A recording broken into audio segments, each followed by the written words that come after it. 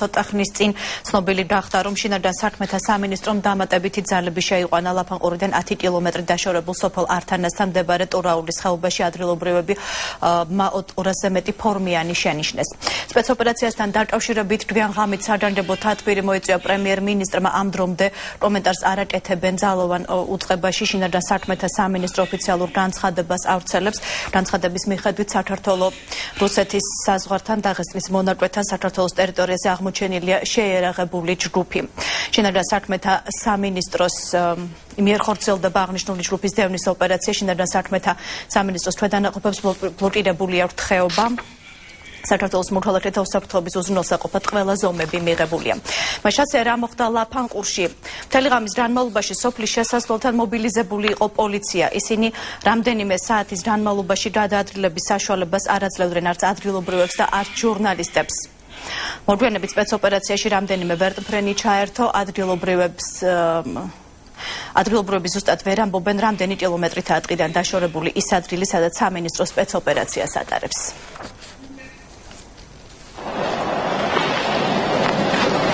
ათობით სპეცდანიშნულების მანქანა და სასტრაფო სამედიცინო დახმარების ბრიგადები სოფელ ლაფანყურში გუშინ გვიან გამიჩევიდნენ. გავრცელებული ინფორმაციით ჩინაგა საქმეთა სამინისტრო დაღესტნის საზღვართან საქართველოს ტერიტორიაზე შემოსული შეერაღებული დაჯგუფების დევნის ოპერაციას ახორციელებს. სოფელში შესასვლელის და საფათო პოლიციას თითქმის 2 საათის განმავლობაში გადაკეტილი ჰქონდა. სოფელში არ უშვებდნენ ადგილობრივებს და ჟურნალისტებს.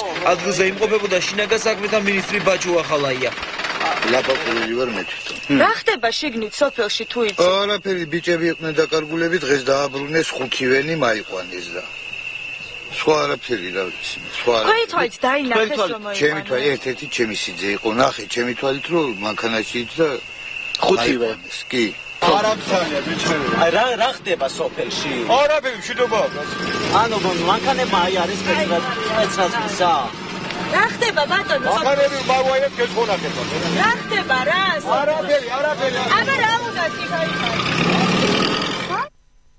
ლაფანყურის მიმართულებით გზა მას შემდეგ გაიხსნა რაც ჩინაგას საქმეთა მინისტრმა ხეობა დატოვა. ადგილობრივებს სპეცოპერაციის შესახებ ინფორმაცია არ აქვს.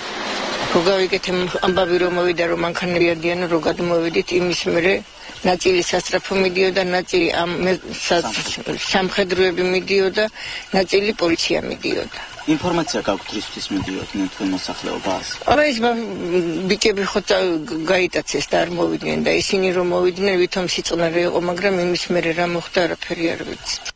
მთელი ღამის განმავლობაში საჰაერო პატრულირებას რამდენიმე ვერტფრენი ახორციელებდა. მიმდინარე მოვლენებთან დაკავშირებით ადგილზე თელავის რაიონის ხელმძღვანელობაც ჩავიდა. რა ინფორმაცია უნდა მქონდეს მე სოფლის რწმუნებულს? და გეკითხები ხო არგონებს რამე იცი და სოფლის შემოსასვლელი იყო გადაკეტილი და სოფლის რწმუნებული უნდა იყოს საქმის სოფლის რწმუნებული ჩემ კარგვარი ხალხთან რა სადაც ხალხია ვარი იქ რა ლობოტის ხეობაში ამ დრომდე რჩებიან ძალოვანი სტრუქტურების წარმომადგენლები. და ჩვენ კიდევ ერთხელ ვუბრუნდებით სოფელ ართანას ცოტა ხნის წინ ცნობილი გახდა რომ შინაგან საქმეთა სამინისტრომ დამატებითი ძალები შეიყვანა ლაფანყურიდან 10 კილომეტრი დაშორებულ სოფელ ართანაში. მე შეგახსენებთ ეს არის ტურაულის ხეობა ადგილობრივმა ადგილობრივმა 200-ზე მეტი ფორმიანი შენიშნეს.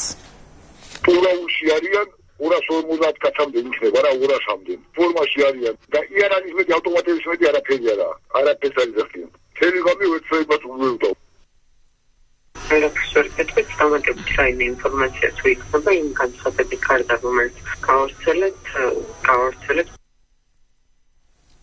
და ცოტა ხნის წინ თავდაცვის სამინისტრომ განაცხადა, რომ საქართველოს დაღესტნის საზღვართან ლოპოტას ხეობაში მიმდინარე დევნის ოპერაციასთან დაკავშირებით ოფიციალურ კომენტარს თავდაცვის უწყება ცოტა ხანში გააკეთებს. ოფიციალურ ვებგვერდზე გამოქვეყნდება ეს განცხადება, მანამდე კი მიმდინარე ოპერაციასთან დაკავშირებით ოფიციალური კომენტარი თავდაცვის უწყებაში არ კეთდება განვარძოთ გამოშვებას.